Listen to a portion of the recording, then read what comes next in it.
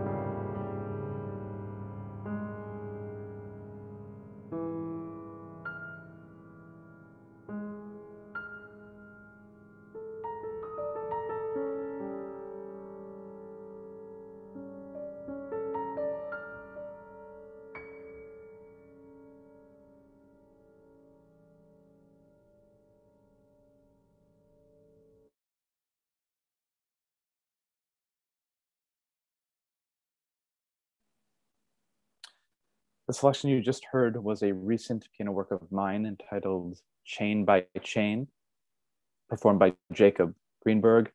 And this evening in Music Talks and Tea, this is a celebration of a recent release. And uh, it is such an enormous joy uh, to bring in uh, Jacob Greenberg. Uh, Jacob, welcome. Uh, pianist Jacob Greenberg's work as a soloist and chamber musician has received worldwide acclaim as a longtime member of the International Contemporary Ensemble, he has performed throughout the Americas and Europe. His solo concert series, Music at Close Range, shows his equal commitment to classics of the repertoire. A leading pianist of modern song, he has toured extensively with soprano Tony Arnold. Their 2013 recording of Olivier Messiaen's Harawi has been singled out by critics. Other ensemble performances include Music Now with members of the Chicago Symphony and Contempo at the University of Chicago. As an orchestral player, he has also appeared with the New York Philharmonic, Israel Philharmonic, and Australian Chamber Orchestra. Mr. Greenberg is on the faculty of Tanglewood Music faculty and has taught at Hunter College, the City University of New York. Uh, Jacob, welcome. It is such a great joy to have you here this evening and to talk about not only chain by chain, but Schubert and our collaboration and the entire package of, of what this entails. Um, so, welcome to Music Teas and Talk. Thank you so much, David, and thank you to Hunter College to give me a chance to celebrate your work and this new recording as a whole. Thanks very much. Jacob, when I first remember the the the first few days of talking about this project, I remember we had a, a, a very lengthy conversation about the type of sonorities that would perhaps be contained in this work, uh, the types of structure, the type of uh, form that I might explore. And uh, Jacob and I have been uh, longtime uh, friends and longtime musical companions, uh, whether it be in chamber ensembles or larger orchestral ones. And so the idea, the concept of Schubert was so enticing to me. And I know that that is a, point of departure for this piece, but it's also a point of arrival with regard to the general architecture of this disc. And um, I'm wondering if, if you would be so kind as to share some of uh, the intricate details of, of your organization and your relationship with Schubert. Well, a, a love of Schubert is something that I, I know you and I have in common, and we've loved Schubert for years, and he's been central to our performance practice. Um, I, I think I, I didn't really get Schubert personally uh, until I was in high school. I um, was lucky to, uh, to hear an amazing performance at McCarter Theater in Princeton by, by Richard Goode, uh, whom I idolized. I think this was 1991. And uh, it was then that I was, I was really awakened to Schubert's depth and, and also his daring.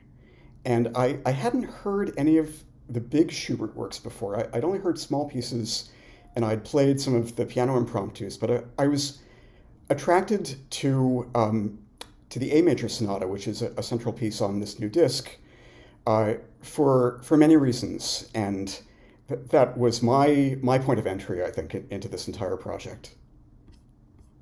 It, it's so warming to hear that we can look back and grab a morsel of the repertoire and bring it forward. And I know you and I have had such endless conversations about how Schubert has uh, become a, a, central figure, specifically for you and I, uh, certainly. And we both uh, have performed a, a, lot of Schubert repertoire, whether it's it's the solo piano works, whether it's the violin works, the chamber music, and, and symphonic literature. Um, and this project lies in, I think, all of the thread work that sews up all of these relationships you know? Um, and i've had a long-standing relationship with schubert as an instrumentalist as well as a conductor um, having played the sonatinas and, and much of the violin repertoire uh, a, most of the chamber works the string quartets of course the famous cello quintet um, and and and much more than that. And now conducting some of my favorite works, um, the Fifth Symphony, the Seventh Symphony, the Eighth, uh, among many others. Yes, and so Um, I came to this project with two major figures on my shoulders. One was Schubert, and the other was Jacob Greenberg. And so I had to finesse and find a path forward into how I could create a new work that, in many ways, is an abstract expression of my relationship with this music. Uh, and I, I, think to some degree, uh, uh, Jacob, you and I have have both discussed the fact that Schubert has not necessarily been in the limelight, so to speak, as a new music influencer in many ways. Uh, perhaps uh, much less so than Beethoven or Bach or Mozart, whereby um, certain anniversaries and centenaries and, and so forth, certain celebrations of these of these classic masters have spawned the genesis of new works. And our project, the genesis began speaking about your work with Schubert. It, it began about speaking about my work with Schubert and what this piece would sound like. Um, it's interesting. I, I I wanted to come tonight and bring some spontaneity to our presentation. And so I simply wrote down, as I would if I heard a new work uh, uh, of anyone's. Yes, I wrote down some notes about my piece, um, which might sound a little bizarre to our audience, but I'm always looking to learn about the curvature of my architecture, about the form, about all of the ingredients that that make the aggregate of sound. And sound is so important to me as a composer. It's so important to me as a conductor. It's it's it's sound management, and and I like uh, the fact that uh, I'm able to control sound with my tools, whether it's with a pencil uh, or a baton in hand. Um, Jacob, I would love to continue listening because I know that tonight we are focusing on uh, a concert presentation to celebrate this disc and the release, the recent release of this disc. Would you uh, please introduce our next work as I cue it up? Sure. Let's play a little of the Ländler. This is from a set of 12 Lend- Ländler uh, German folk dances. I think we'll hear two of them. I wanted to include this set of dances on the disc because, because I think it's incredibly innovative and also because we don't often have a chance to hear the really mature Schubert in miniature, in miniature forms. And these dances, in my opinion, ha- have all the, the hallmarks of, of, his great music uh, unexpected turns of phrase and totally surprising harmonic shifts, for instance, and also a, a really startling intimacy. And I, I hope you'll have the same impression listening to these. Terrific. Let's have a listen.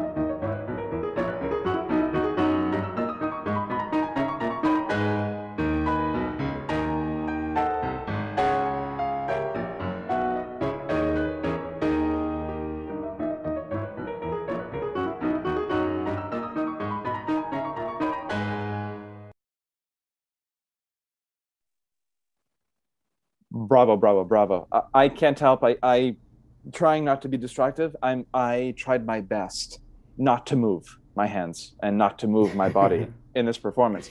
Uh, Jacob, your, your interpretations are so fluid. I actually took notes on some Schubert, and the first word I wrote down was movement, and your sense of line and trajectory in these performances is is so inspiring. As a composer, now I'm speaking um, away as a conductor and more now as the composer.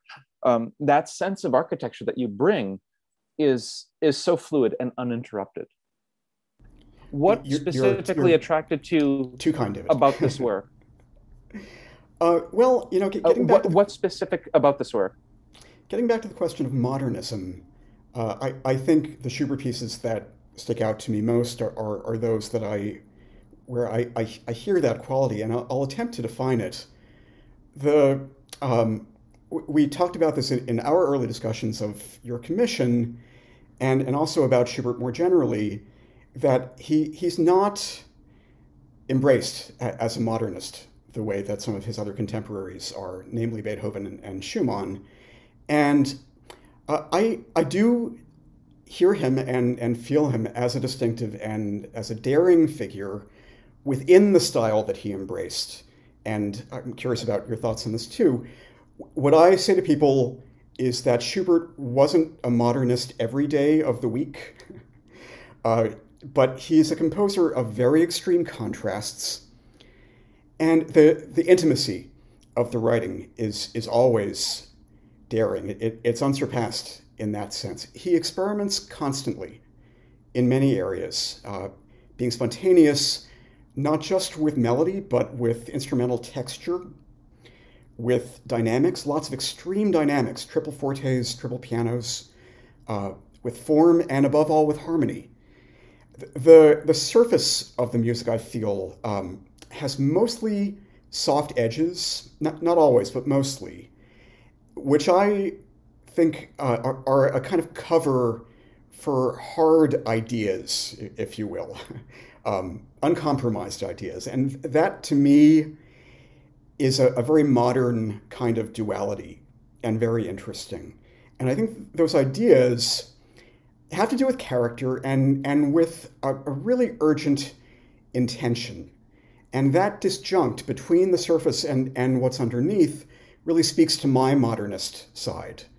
Uh, I, I, hear it in this set of Ländler, I hear it uh, writ large in the sonata, and uh, just sensing something that's bubbling under the surface, which is so stubbornly driven, uh, even in the gentlest music. That, that's a, a, a, very modern aesthetic to me.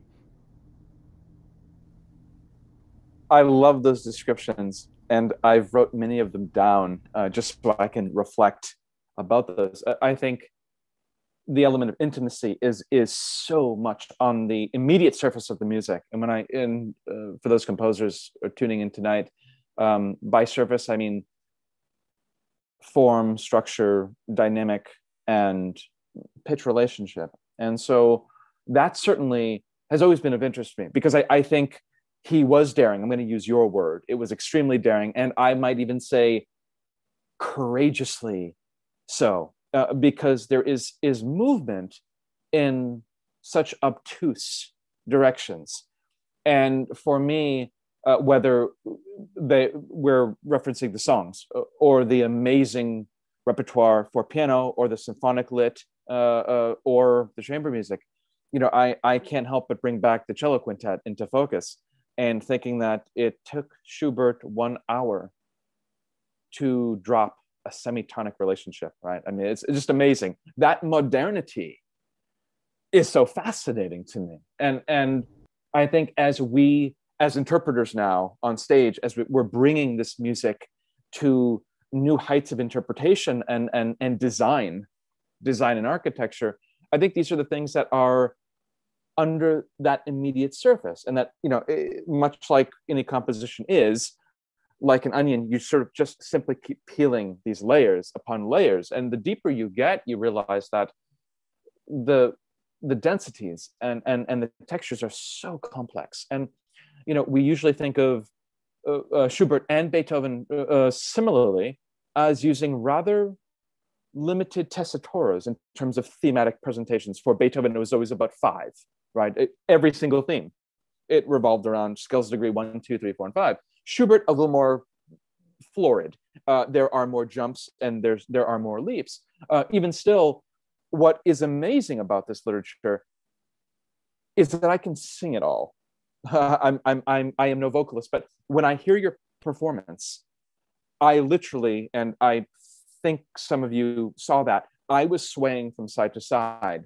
And, and I think there's, there's a lot to do uh, with the general affect of structure and form. And I, I know that these two words are, are inextricably tied, but they're also um, theoretical terms. And, and I don't want to talk too much about the, the theoretical component because we are speaking as performers uh, who are also theorists, who are also musical, excuse me, musicologists, uh, and so on. So um, I'm so glad to hear that for you, the Schubert surface is daring because for me it is. It's courageous. And as I was developing my work for you, I think those were certainly um, elements of the composition or the approach that I wanted to delve into further and courageous in terms of extending fluid form and daring in terms of the registral capacities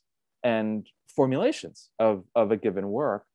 Um, and most of all, uh, this piece, I think, is is one is one single line.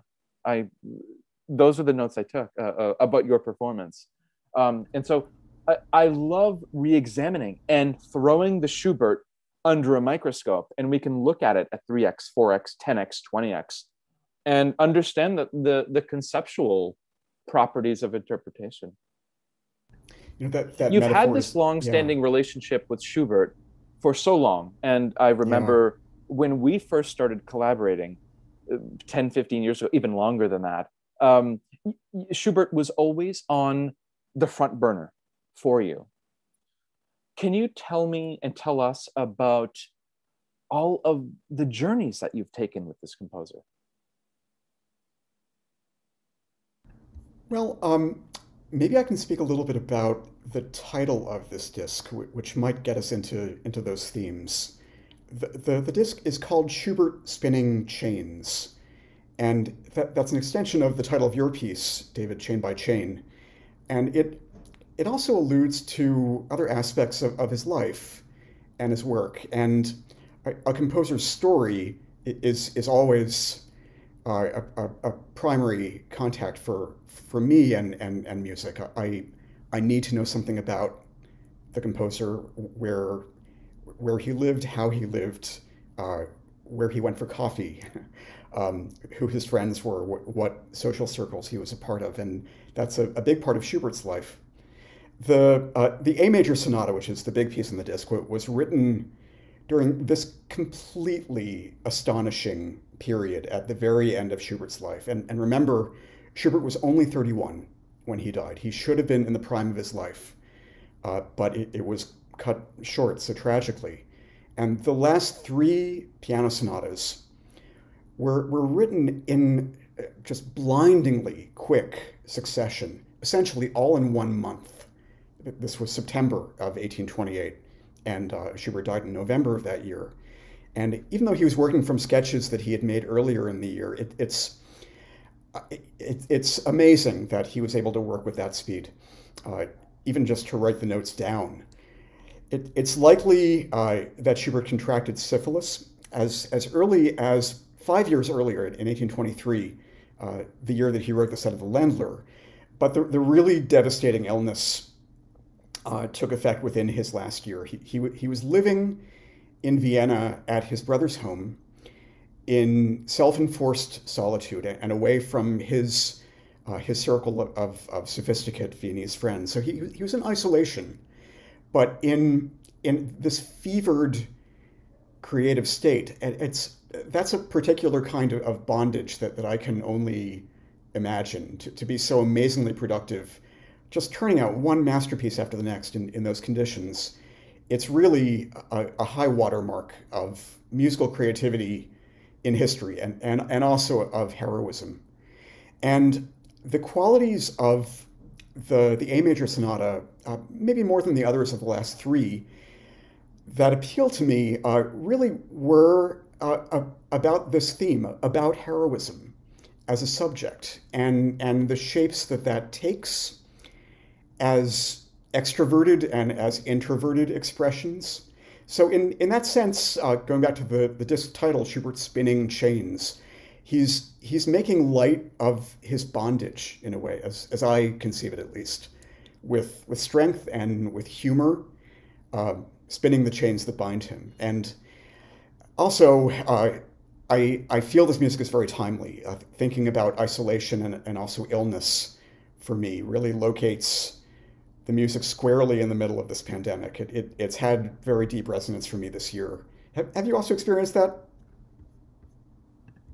Yes, uh, I have. And, and I share those exact sentiments uh, uh with you. I think this music uh, touches a, a, piece of the soul and a piece of the heart that perhaps is particularly sensitive at this time. Uh, and the the concept of of isolation and of healing together as musicians, I I I couldn't think of a better alternative than for us to be in collaboration. And I know that a lot of uh, tonight's presentation has to do with music and friends, and inside of that is the main theme of collaboration. Um, and I adore looking through your lens at these pieces uh, because we see the theoretics and we see the historical perspective shine brightly through your interpretation. And at this time, I would like to play some more Schubert. Great. Uh, shall we do the second movement? We shall. Okay, just a little bit.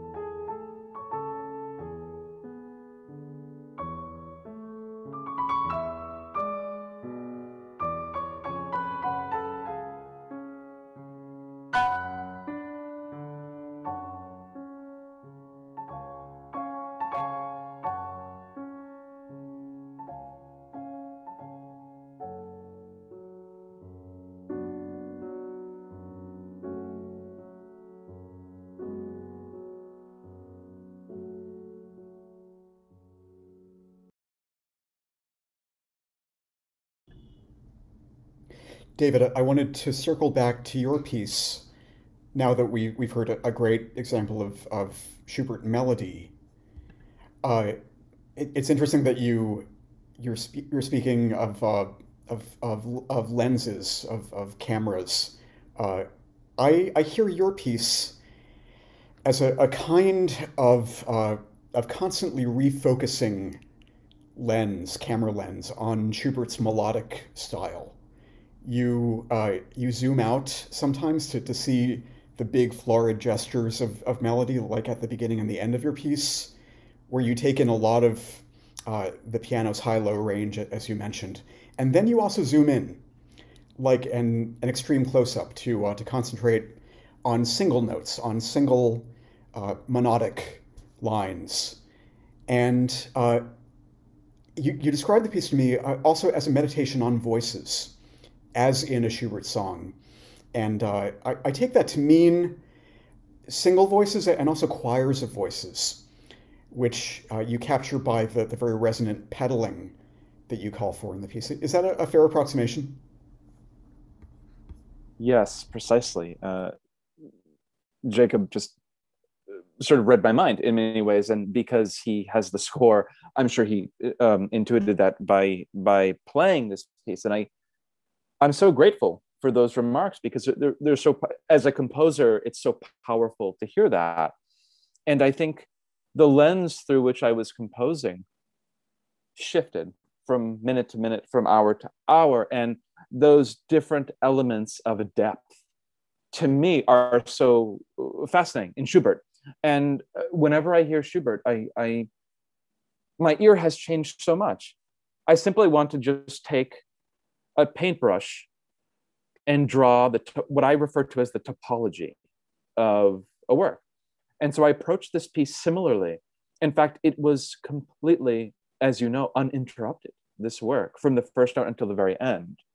Um, and I think a lot of that has to do with our collaboration and and right before we heard your elegant performance i was thinking to myself that when we're working together and whenever i'm writing a new piece whether it's it's a new work uh, for orchestra whether it's a new work for solo piano um, or a chamber work my music really is simply about people it, it always has been you know and uh, as extensive as program notes can tend to be these days um, my expressions remain extraordinarily focused on the artist. And you are uh, the focal point uh, uh, of this particular piece. And so it makes me reflect on all of the Schubert that I've heard. And I trust my intuition uh, because there's so much Schubert in my sound bank. I, I, I can't get it out in so many ways. And I, I hate to put it so coarsely, but the Schubert is always here. It's never not here. Um, does that mean it's immediately transparent on the surface of my music? No, of course not. Um, and it didn't intend to be. However, there is a lens that is, in fact, affected by that impression. And impressions are so important. And perhaps sonic emblems are a better way to sort of technically address that, that question. And um, it leads me to ask you i just love this train of thought here um, with regard to the temporality and the arch the shape of this disc of your disc and you know we're we're in we're in a time when so much of the sort of sonic mapping occurs from the left side to the right and when i listen to your disc I literally start from the first note and I listen to the entire duration so that I can understand this field of scope. Now, this also happens to do a lot. Now I'm tracing back, I'm doubling back and doubling down on something I'd said just a few moments ago, which is that um, I had this uh, incredible experience uh, uh, many years ago. And at the Rothko Chapel, there was this beautiful, absolutely exquisite work, which was enormous. It was about 80 feet by 100 or so, which is enormous, right? And it made me question form. It made me understand and ask questions about the interior elements, the structure, the distribution of, of, of density, and contextuality, because I think uh, uh, music in general has to be, be understood within contexts. And I remember just spending a few hours. I literally started at one end of the of this wall and i just walked and i stood so close i stood so i was literally face to face which i think resonates well with tonight's presentation. It's face to face with Schubert. It's face to face with Jacob Greenberg. Um, and so I interpreted when you are going linearly through music, time does not stop. There are these amazing diagonal relationships that are illuminated, right? And so as I'm taking inch by inch, walking against this wall, I'm not aware of any formal constraint. Just as if if we chose the Fifth Symphony of Schubert, if we did a drop the needle, yes, we could infer by the general feeling and affect of the of the thematic presentations where we are structurally. But I couldn't tell you that the bar line is in two seconds. And so that has to do a lot with my compositional process, is understanding where my boundaries are and what my elevations, what my topologies consist of. And with Schubert, you're right. There's there's this intimacy of gesture. And I think for my piece, Chain by Chain, it is governed by these explosive gestures that are, to me, very tender in, in feeling. And interestingly enough, when we were just listening to Schubert, uh, while I was muted, I, I simply couldn't help my hand trying to trace over certain keys that you had articulated. It was just impossible. My anatomy does not allow me not to do that. So now I'm going to flip the question back on you. Could we talk about the architecture of the disc? Because I know for me, it's so important to see that panoramic perspective and to understand which sonic environment we belong, you know? Um, well, you, are such a generous listener to, to start at the beginning and, and go through to the end. Uh, I, I do care very much about curation as a principle in my concert programming and in my recordings, uh, you're familiar with, with some of my solo discs, and you know that I think a lot about this. I I placed your piece at the end of this disc uh, after the two major Schubert pieces because I wanted your piece to be heard as an echo and as an outgrowth also of the principles that Schubert holds dear. And uh, as, as, I said, a, a study of, of different ways to view the music from up, from up close and from afar, and more generally as a, a meditation on, on Schubert's piano writing, which I, uh, which we agree was as adventurous as Beethoven's. Um, yeah, uh, spinning chains of song was uh, the line in, in your program note to the piece, and uh, that, that captures it so well. Hey guys, I'm crashing your party. Hi, Suzanne. Welcome Hi, back. Hi, um, thank you. Hi. Perfect timing. Um, uh, if folks, this has been a joy. Um, I could certainly go into the wee hours of the morning uh, talking about all things Schubert and certainly all things uh, art and form and structure and all these good things. Um, I would like to take an opportunity to thank Jacob Greenberg for being with us here at Hunter. Uh, it has been such a distinguished pleasure. And also to thank our chair, uh, Professor Suzanne Ch- uh, Farrin, who has created this incredible opportunity for us to share our work and for us to connect with our students and our audiences when even amid a pandemic and all of the crises that we face we are here together making music together and we're sharing what we have. And that is why we are stronger together. That is why we can we can do this.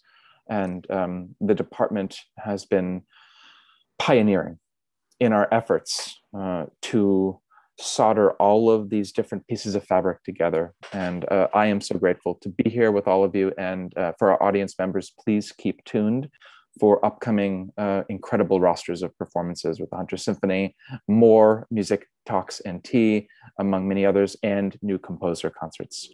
Um, with that, I hand this over back to uh, Suzanne, and I would love to begin uh, a Q&A after that. And folks, I would love to also extend an invitation for you to unmute yourselves and join us. Uh, there's nothing better than a real concert um, uh, invitation for a reception. So join us. Let's talk music and, and uh, uh share with one another.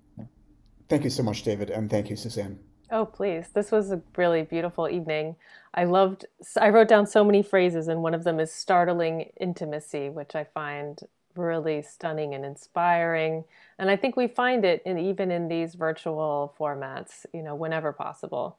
So folks are turning their cameras on, uh, go ahead and unmute. We've got a lot of folks in the Zoom. Go ahead and just ask your questions to David and Jacob. I'll keep an eye on the questions from YouTube Live, uh, but please just go ahead. Uh, I have a question. Go hi. ahead. Hi, hi. I'm, this is Philip Ewell, professor I, of music Phil. theory.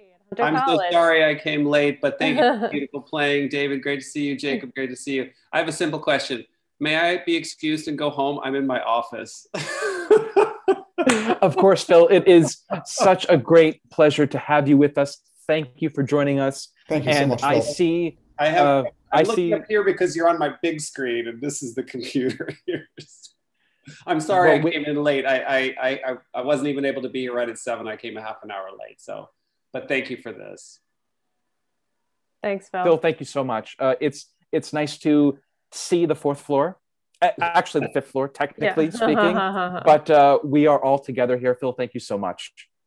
Take care, everybody. Great to see Bye. you. Bye. Safe travels. Have a good evening. Thank Bye-bye. you, Phil. Um, folks, I welcome, uh, please unmute yourselves and jump in. And I want to preface this by saying that at the very end, when there are no more questions, uh, for those of you who know me, I always love to end on a high note and I always love an encore. I'm going to play some more of Jake's Schubert. Um, so please join me in, in that. But let's talk music. Uh, we are open to all things uh, about the presentation this evening and about our collaboration. Composers, please feel, feel free to jump in, ask Jacob questions, ask myself questions if you'd like to comment on some of the musical tapestries you've heard this evening. We welcome that.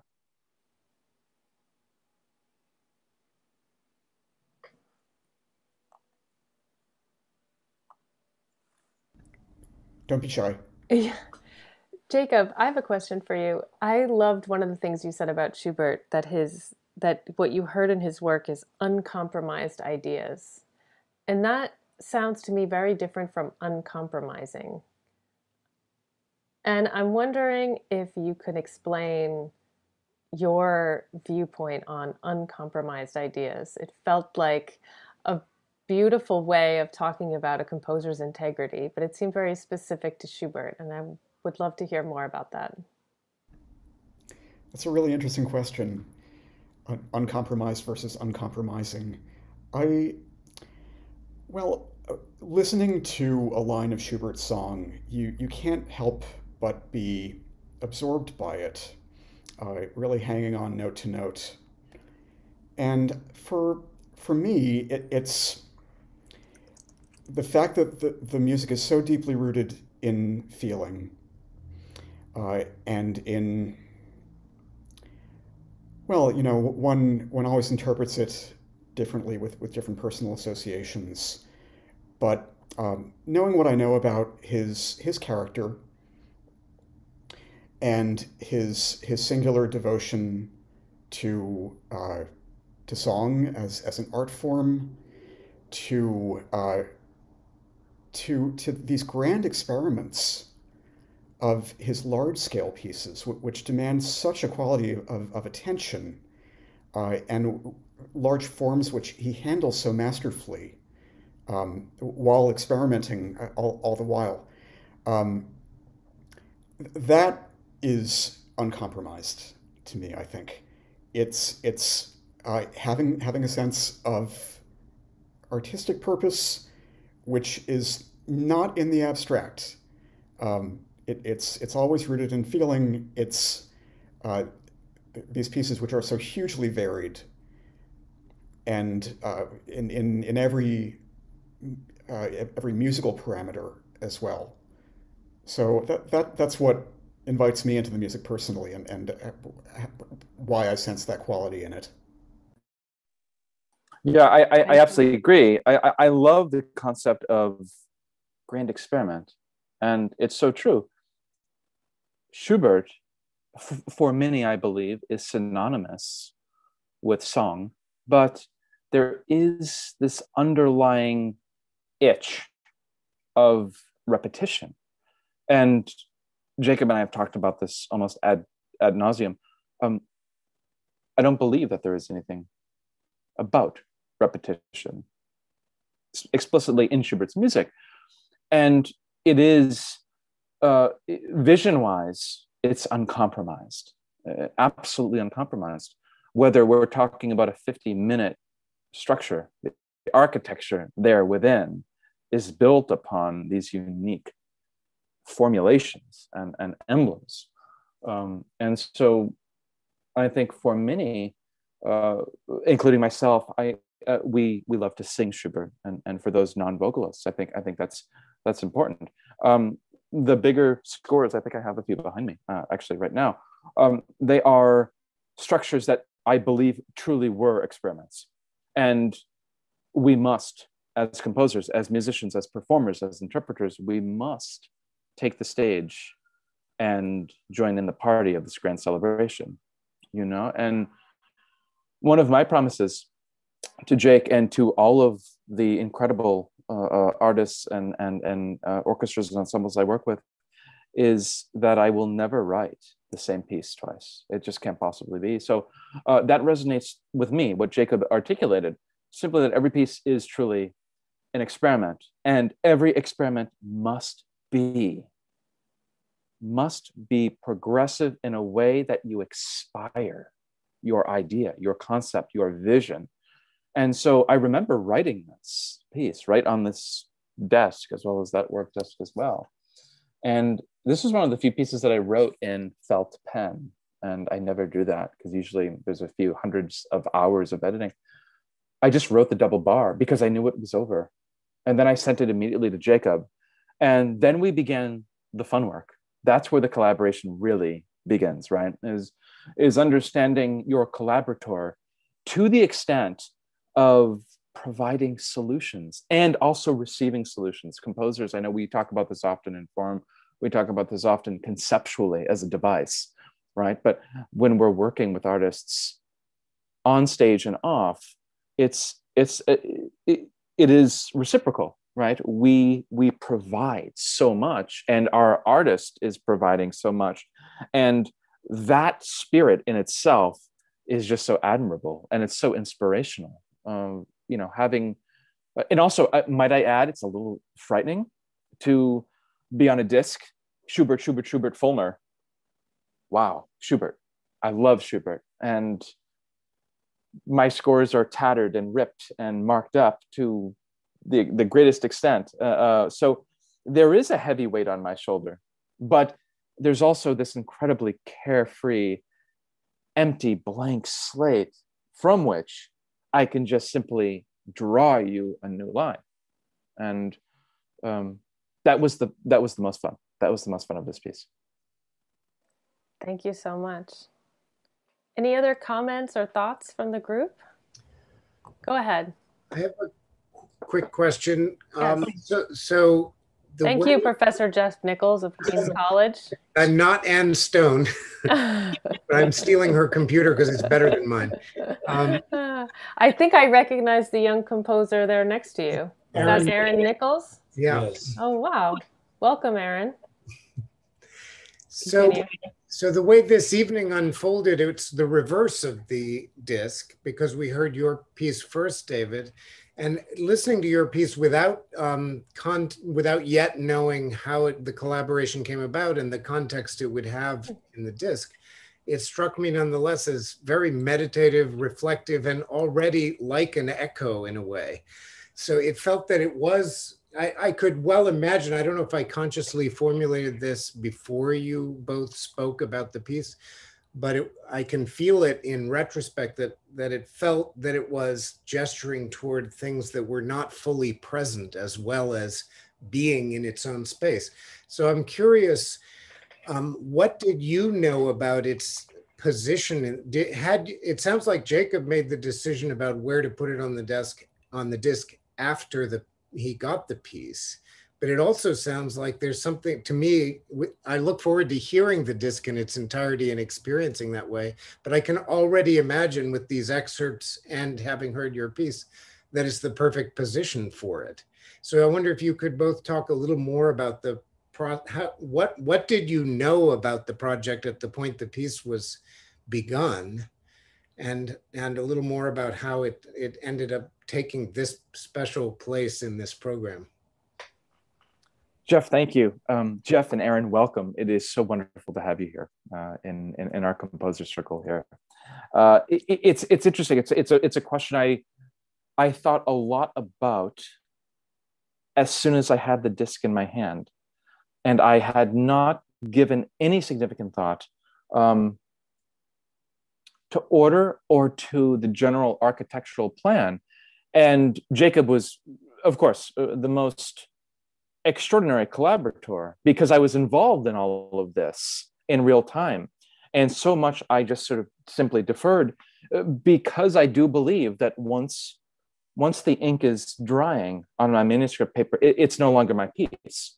It, it's Jacob's piece right now. And, and, and, and I have nothing more to say about that piece um, in terms of the notes and rhythms and, and, and articulations. Uh, so I, I, I welcomed that. And I remember even in the editing process, and I, uh, Jacob, correct me if I'm wrong, um, these were very large single performance takes uh, from this. And it sounds that, I mean, it's, it's, it's just this gorgeously fluid interpretation. Um, so I, I wasn't uh, uh concerned necessarily about where uh, I was pivoted between the Schubertian uh, collection of works, I was certainly aware that all things Schubert are all things great. Um, so there, there, there was my own sense of curiosity, and it was wonderful um, to sort of turn away from it for just a moment in production and wait for Jacob to reveal where this contemporary piece, where this piece that was written in the last 9, 10, 12 months uh, was going to emerge. Um, and I'm, I'm, I'm grateful uh, now that we began with the, uh, with the performance of my piece and to sort of look telescopically back to 1828. Um, so uh, Jeff, you've given me a lot to think about. You're, you've, you're going to keep me up this evening. I'm going to be thinking about this all night now.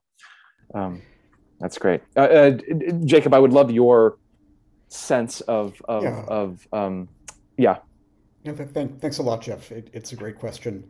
Uh, I, I, wanted to wait until I received the piece to to know where it would fit into the programming puzzle. Um, I, I, think ultimately any any choice about ordering, uh, especially between older and newer works, is personal and a little bit arbitrary. But I, I think that points of reference with listening, whatever they might be, have to stay in our consciousness as we move from old to new music or uh, vice versa, whether that has to do with musical texture, musical character, mood, harmony, gesture, and any, any number of things. Uh, for instance, I, I have a disc that, that juxtaposes pieces by Debussy with Second Viennese school music, and, and my aim with that was to draw attention to the sensual possibilities of both sides of that programming. So uh, I, I, I, don't want to prejudge, especially with commissions. I, I, I, did want to see what David's piece would be like. Uh, but I, I, I, hope that the, the teleological experience of, of listening to this disc is satisfying and a little bit illuminating.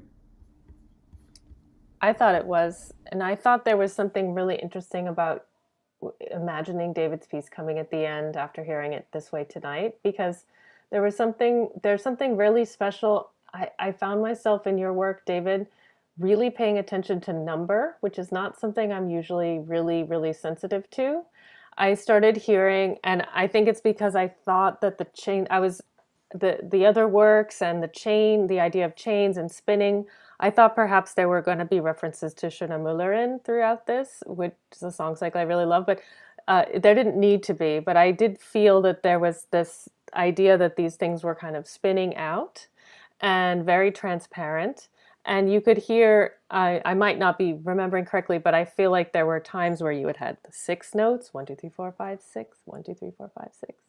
Change the notes one, two, three, four, five, six, and then one, two, three, four, five, six, seven and that seven seemed to kind of then the water rushes over and the the the machine starts up again you know the the the, the turning of the mill or the the the cycle kind of starts again. Were you thinking about weight and you know quantity of pitch in and sort of falling over and then rising? Because i felt there were times when you sort of tipped over and the and it and it, we poured out of the sound a little bit and then it rose to these sort of static very few pitches um, always very transparent but even more transparent when you reduced um, the the actual content. Yeah. Uh, uh suzanne thank you for those exquisite observations and uh, my gosh your, your ear picked up everything uh, there. I think what you hit at is absolutely the conceptual process of, of, of what I'm trying um, to, I suppose, uh, illustrate sonically in, in design. And uh, Jacob and I had many uh, discussions about spiraling cycles in Schubert. And for me, instead of cycles, I had spiraling spirals cycling. And so a cycle is a revolution where a spiral is conical, and therefore a spiral never is contiguously adjacent to the same point of origin or departure. Um, and it was a very free, uh, free flowing form um, in many ways. And I, I, I was conscious of the different densities, and I love going from very very sparse textures to extraordinarily uh, aggravated uh, uh, textures that are activating perhaps seven or eight different octaves uh, uh, simultaneously and then to focus uh, on a, a, note or two or on a on a on an intervallic relationship that that I feel is for me sentimental. And I I, I know that um, it's become very very um,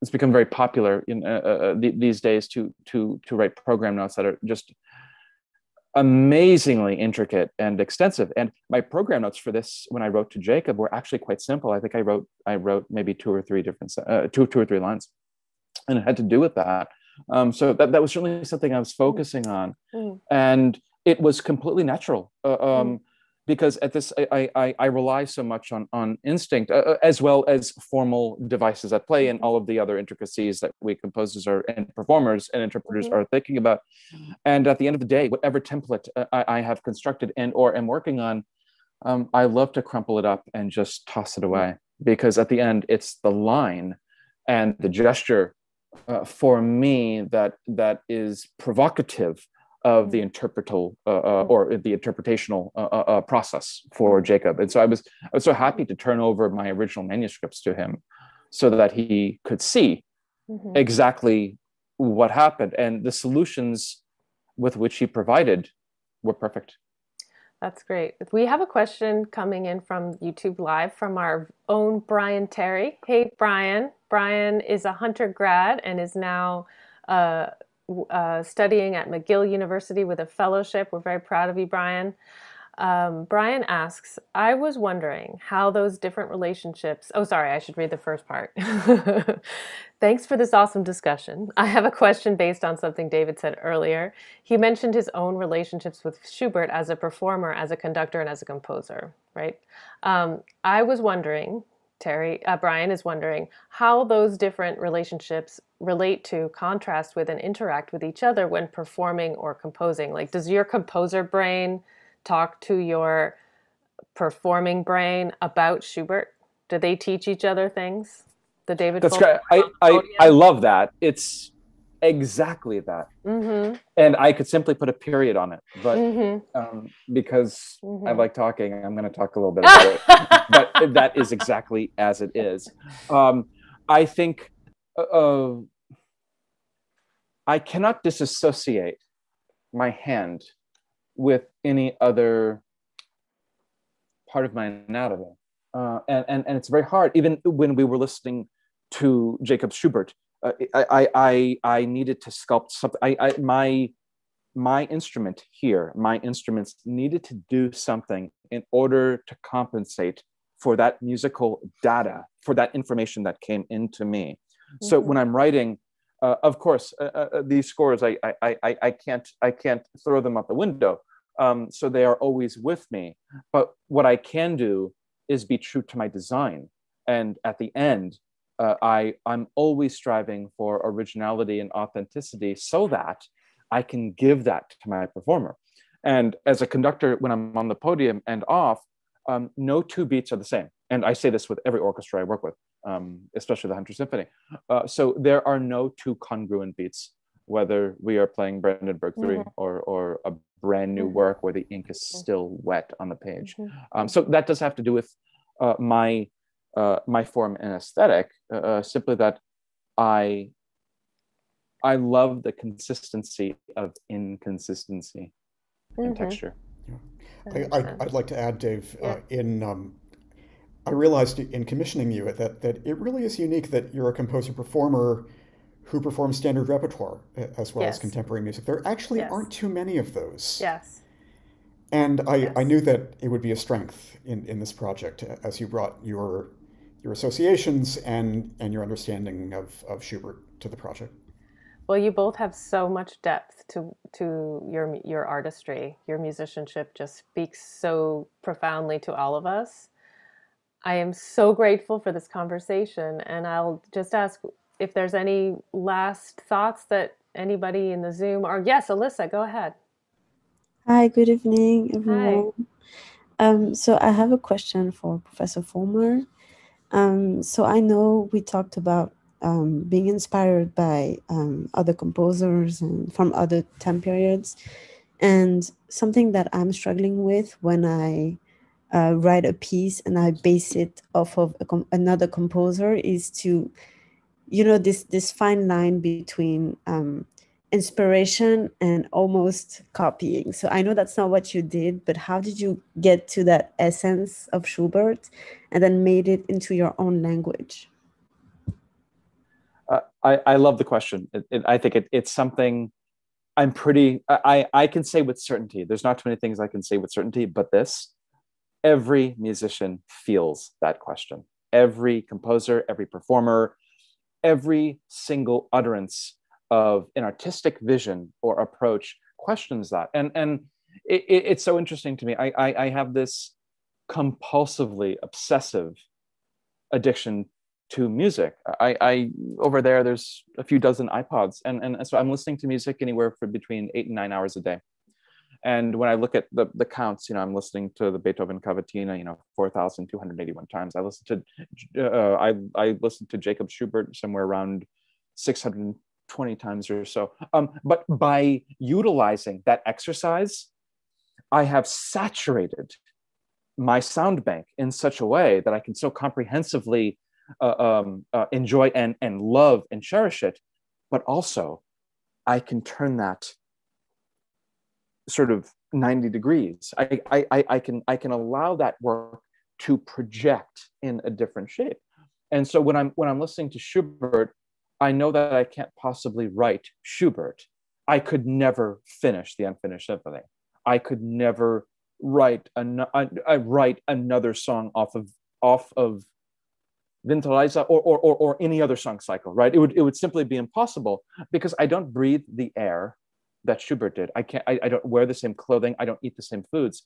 Uh, it is so inextricably tied to form and structure of, of, of artistry and, and, and sort of what we do to, uh, what we do from day to day, how we interact with artists.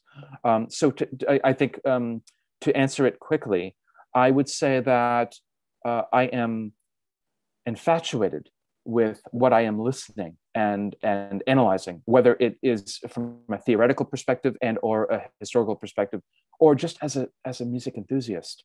Um, on the other hand, I know that it is my job that when I when I come to my composing sanctuary, I must create a vision for my work to live.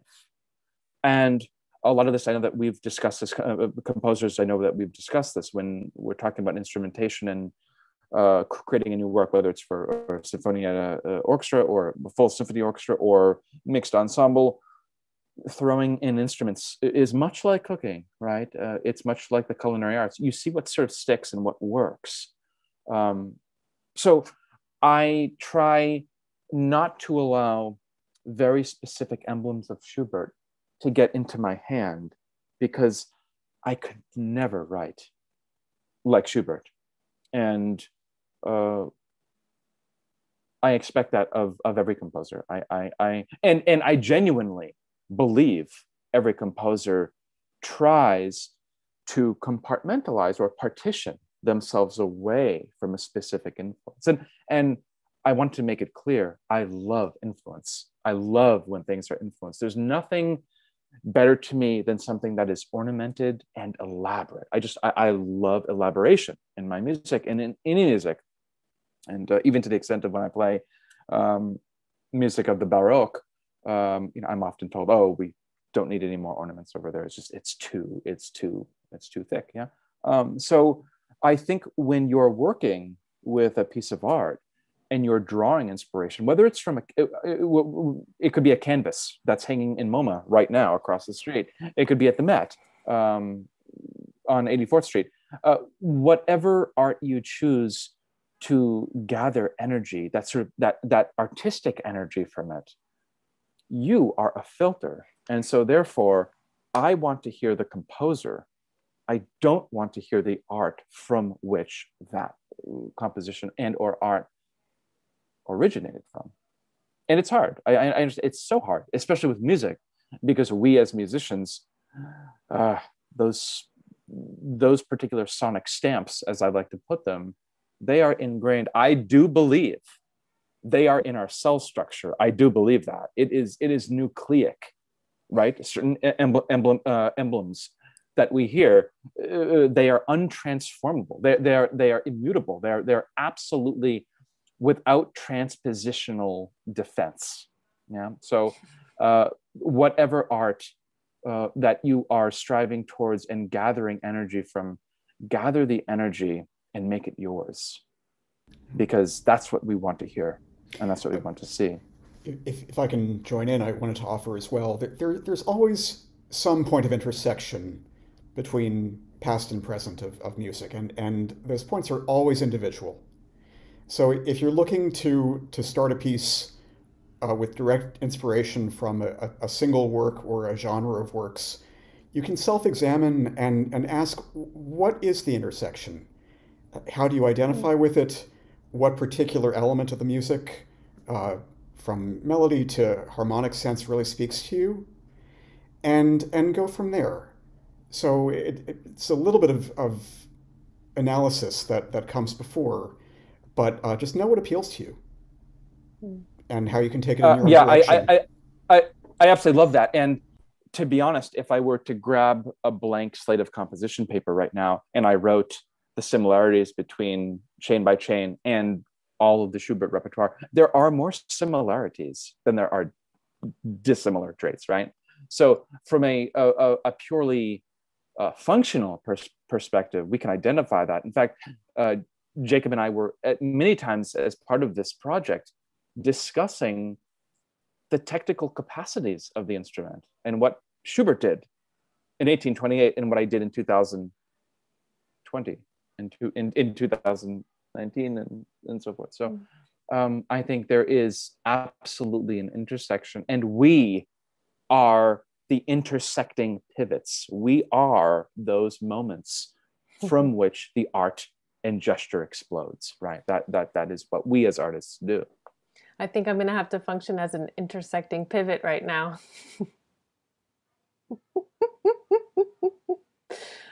Thank you so much jacob and david. Thank you jake sachs michelini thank you brad stoller. Thank you malika holder Thanks to all the composers. By the way, that's our team, our online production team, and aren't they great? Because this just went so smoothly. Thanks. Um, so nice to see all your faces. Thanks to everyone who joined on YouTube Live. It's wonderful to get to share art and thought together, even at a distance. And I was shocked and warmed by the startling intimacy of this evening. Thank you all let's see each other again at another Music Talk and Tea. Bye, everybody. Thank you all. Thanks so much. Thank you.